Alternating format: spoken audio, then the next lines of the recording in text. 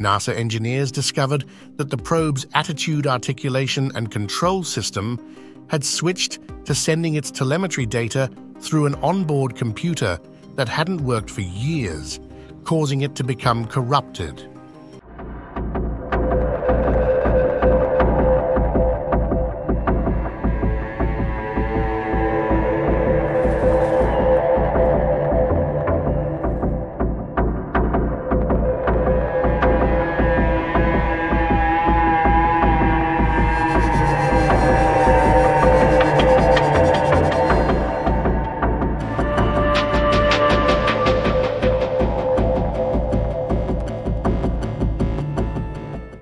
Accounts for why seemingly random data was arriving back on Earth.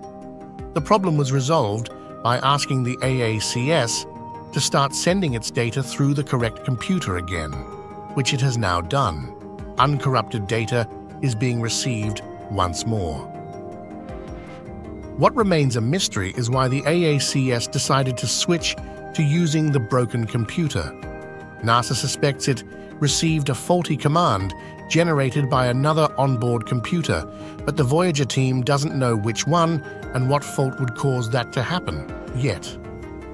According to Suzanne Dodd, Voyager's project manager, we'll do a full memory readout of the AACS and look at everything it's been doing.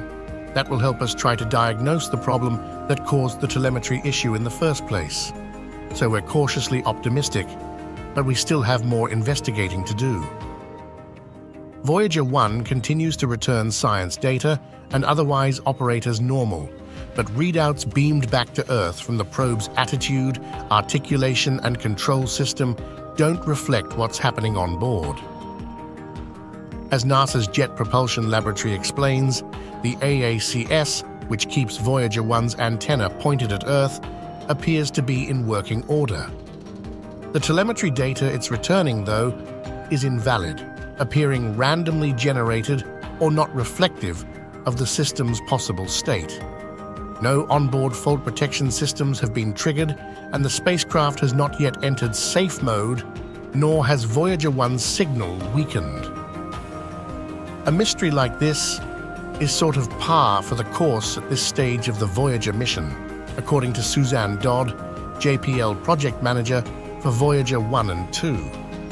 The spacecraft are both almost 45 years old, which is far beyond what the mission planners anticipated.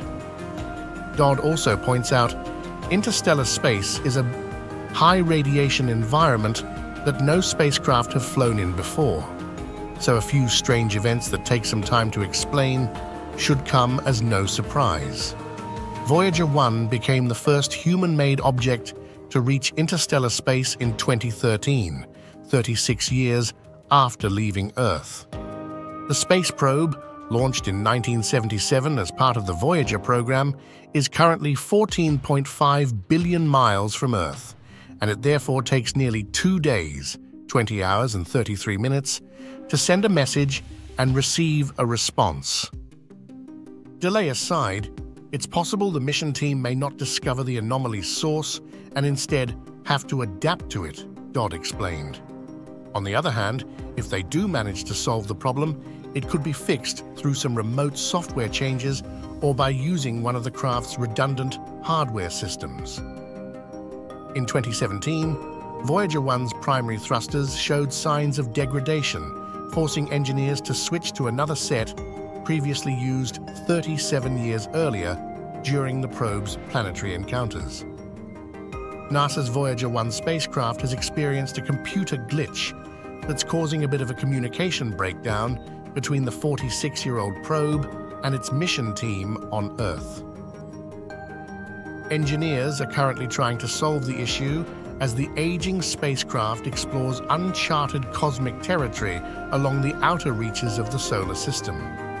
Voyager 1 is currently the farthest spacecraft from Earth at about 15 billion miles, 24 billion kilometers away, while its twin Voyager 2 has traveled more than 12 billion miles, 20 billion kilometers, from our planet. Both are in interstellar space and are the only spacecraft ever to operate beyond the heliosphere, the Sun's bubble of magnetic fields and particles that extends well beyond the orbit of Pluto. Initially designed to last five years, the Voyager probes are the two longest operating spacecraft in history. Their exceptionally long lifespans mean that both spacecraft have provided additional insights about our solar system and beyond after achieving their preliminary goals of flying by Jupiter, Saturn, Uranus, and Neptune decades ago. But their unexpectedly lengthy journeys have not been without challenges. Voyager 1 has three onboard computers, including a flight data system that collects information from the spacecraft's science instruments and bundles it with engineering data that reflects the current health status of Voyager 1. Mission Control on Earth receives that data in binary code or a series of ones and zeros. But Voyager 1's flight data system now appears to be stuck on auto-repeat in a scenario reminiscent of the film Groundhog Day.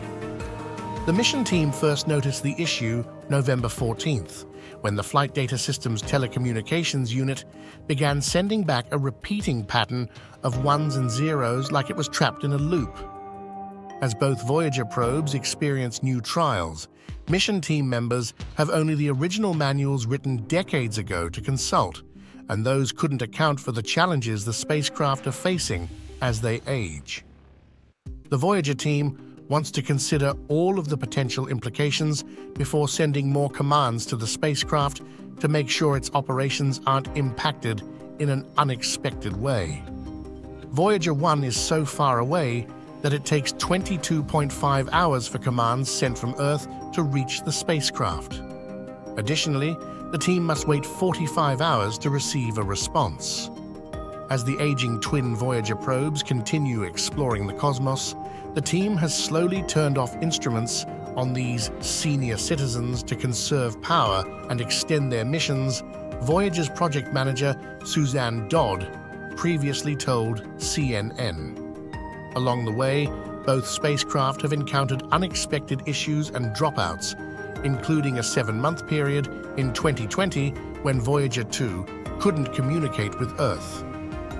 In August, the mission team used a long-shot shout technique to restore communications with Voyager 2 after a command inadvertently oriented the spacecraft's antenna in the wrong direction. While the team hopes to restore the regular stream of data sent back by Voyager 1, the mission's main value lies in its long duration, Cofield said. For example, scientists want to see how particles and magnetic fields change as the probes fly farther away from the heliosphere. But that dataset will be incomplete if Voyager 1 can't return information as it continues on. The mission team has been creative with its strategies for extending the power supply on both spacecraft in recent years to allow their record-breaking missions to continue. The Voyagers are performing far, far past their prime missions and longer than any other spacecraft in history, Cofield said. So, while the engineering team is working hard to keep them alive, we also fully expect issues to arise.